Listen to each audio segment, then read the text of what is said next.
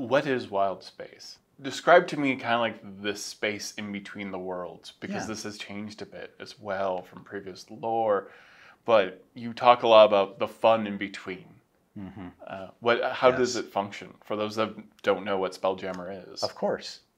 So um, when you are on a world and you look up at the night sky, what you are looking at is basically wild space.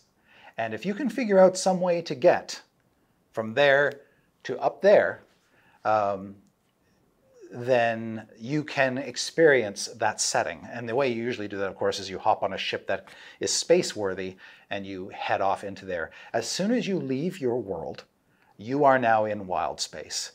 And you can go across wild space to other worlds in the same system as the worlds that you were in. Or if you go far enough, you can actually come to the edge of what's called a wild space system.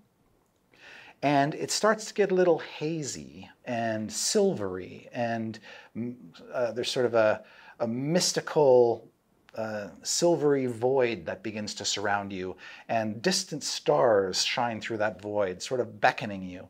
And if you sort of cross that veil into that silver void, you have just moved from wild space into what we call the astral sea.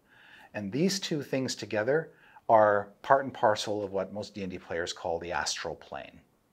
And so astral, of course, means of the stars.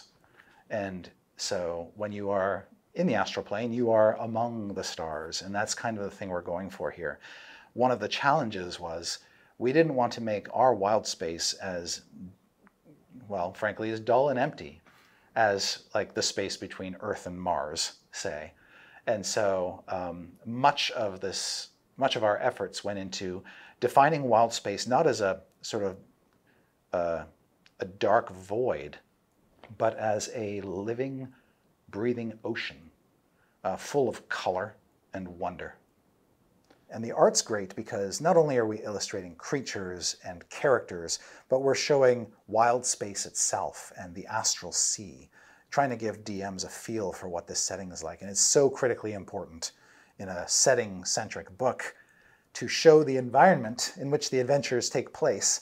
And so there are so many illustrations of wild space, of astral sea, of ships in that space. You know what I mean? And you get a sense of how full space is. This Yes, that's the other This important is not thing. outer space. This feels No. like the brightest parts of any nebula you've seen. Yes, Uh, the color palette was very deliberately chosen. Wild space is is rainbowic. It's kaleidoscopic. It's full of life, like a teeming ocean. It's got creatures, schools of space fish and space jellyfish, and blah blah blah blah blah blah. You know, it's it's it's. And, and then dead gods is floating by. then once you get into the astral sea, Yeah. things start to get more surreal and cerebral. Right. You start to see dead gods and giant crystal monoliths, and um, the bizarre starts to take shape because the astral plane, once you get into the astral sea, part of the astral plane, it is more of a realm of thought and concept. Uh, you don't, for instance, in the astral sea, uh, need uh, to breathe. right. You don't need to eat. You don't need to drink. You just sort of exist in perpetual stasis, but living there, like like githyanki do it all the time, of course. And so it is very very bizarre place, but it has its own palette, sort of this silvery, purplish, pinkish, misty fog that you're constantly drifting through. Um, the way I like to think about it, um, it's like in Star Trek: The Wrath to The Wrath of Khan, going into the Mutara Nebula. That's what that's what our space is like. Right.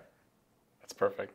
If you liked this interview and you'd like to see more, go ahead and like the video, subscribe to the channel, and hit that little bell symbol so you're notified anytime a video like this comes out.